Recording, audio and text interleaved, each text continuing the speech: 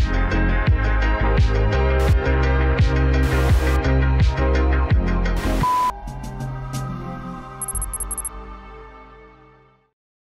Hey everybody, I'm Daniel from Space. Some of you may have heard of me. If not, you can find a link in the description below to my channel where I analyze spacecraft from various works of science fiction on a weekly basis. Today I'm covering for Eckhart's Ladder, who was kind enough to cover for us a while back, and I'll be talking about the five deadliest Star Trek starships from the United Federation of Planets. So let's get right into it.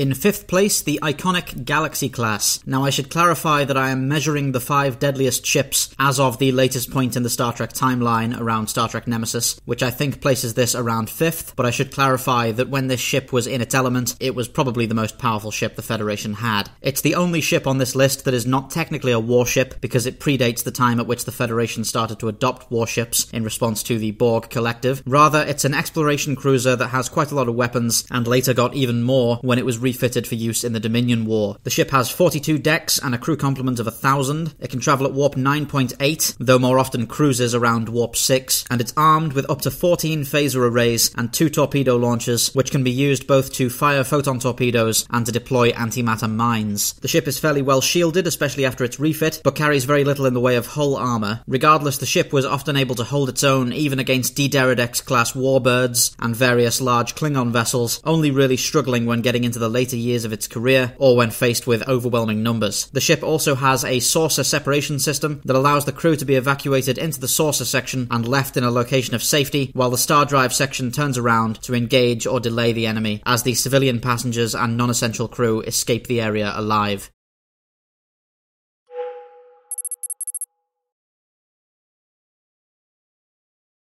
In fourth place, the Akira class, as introduced in Star Trek First Contact. This is a fan favorite design, really cool looking ship. The ship is of a moderate size, fills a kind of heavy escort role, is one of the earliest dedicated warships designed to fight the Borg. Most of the deadliness of this particular ship comes from the large overslung torpedo pod on the pylon in the center there. This pod features both forward and aft launchers and carries dozens of torpedoes that can make short work of most smaller vessels, especially if their shields have already been defeated. The Akira has numerous phaser strips across the saucer section and is portrayed as being very maneuverable, with its sleek and narrow frame providing a more difficult target for hostile weapons. The ship even has its deflector dish impressed into the hull so as to protect it from fire from almost any angle. And the overall space frame, at least from an in-universe standpoint, takes lots of inspiration from the older Walker class and the even older NX class. One of the coolest looking ships designed for the Federation in Star Trek, I think, and certainly one of the deadliest that we've seen on screen.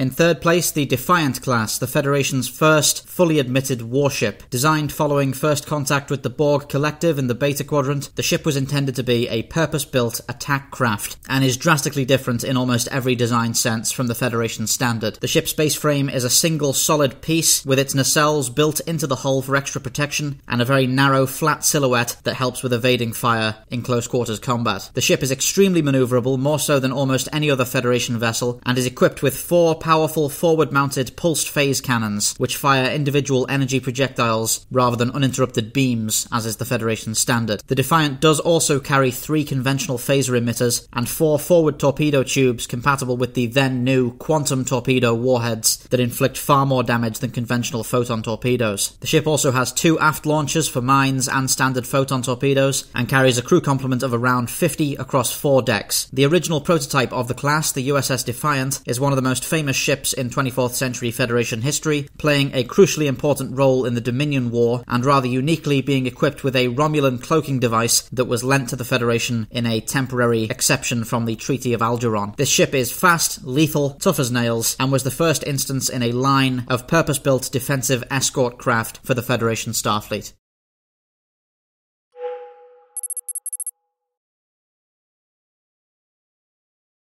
In second place, the awesome Sovereign class. This is the class of the Federation flagship, the Enterprise E. It's my favourite of all the Enterprise classes that we see across the course of Star Trek, and it has one of the slickest and most sophisticated looking designs I think we've ever seen in the Star Trek franchise. It's very flat and long, with a seamless transition between its secondary hull and its saucer section, and long swept pylons connecting to the nacelles. Of all the ships to be called Enterprise, this is the first one to be a warship, carrying 12 phaser arrays, 3 forward torpedo launchers, one of which carries quantum torpedoes, 3 rapid reloading aft torpedo launchers, and powerful deflector shields. Again, like the Defiant and the Akira, this ship has a very narrow forward and aft profile, making it very difficult to target when it's coming straight at you, and is also unusually maneuverable for a ship of its size. This is an impressive and imposing command ship, carrying lots of advanced sensors and communication systems, stellar cartography suites, and various other systems that allow it to coordinate a larger group of vessels over almost any range. We've seen this ship engaged in battle with Borg cubes, with scimitar class Reman warbirds, and various other incredibly powerful vessels, and it's always managed to put up an impressive fight even without assistance. This ship has definitely achieved some of the most impressive ship to ship victories that we've ever seen a single Federation ship pull off in the series. Simply the fact that it was involved with the successful destruction of a Borg cube marks this vessel as very impressive indeed by the standards of Federation starships.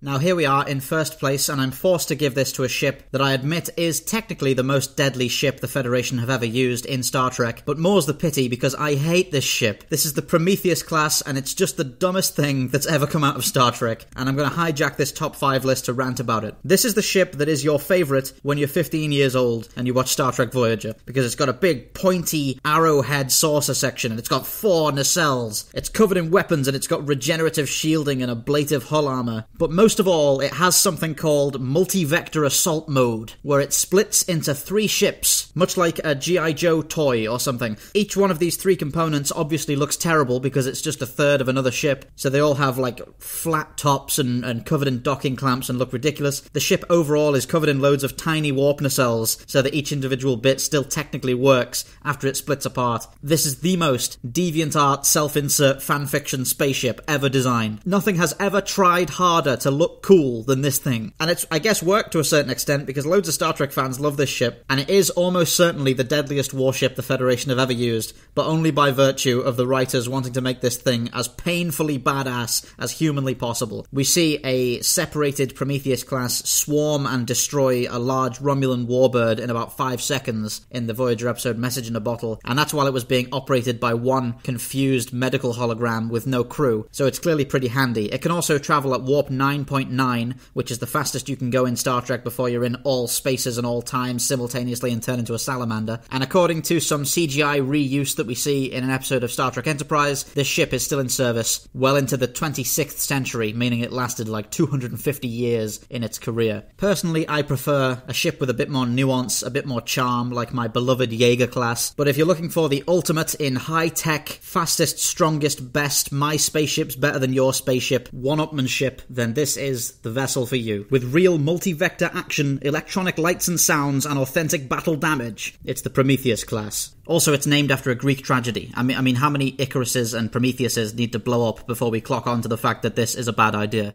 Well, that was the top five deadliest Federation starships from Star Trek. I've been Daniel from Spacedock. Big thanks to Eckhart's Ladder for having me on. And if you're looking for more spaceships and more inane ranting, please do follow the link in the description and subscribe to our channel. This is Daniel from Spacedock, signing off.